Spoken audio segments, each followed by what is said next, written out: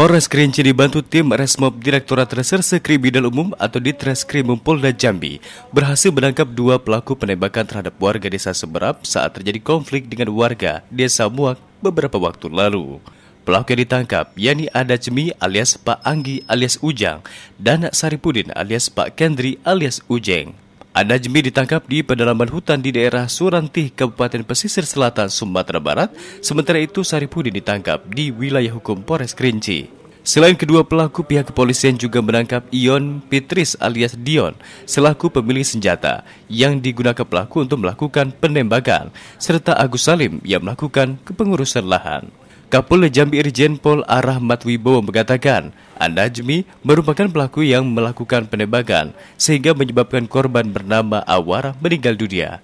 Sementara itu korban penembakan oleh Saripudin bernama Bahtiar yang mengalami luka berat.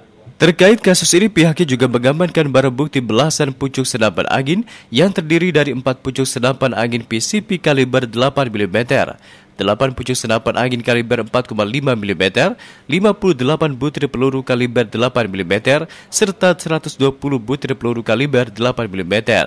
Di sini ada 8 pucuk senapan angin kaliber 4,5 mm, kemudian ada e, 3 pucuk yang kalibernya cukup besar 8 mm.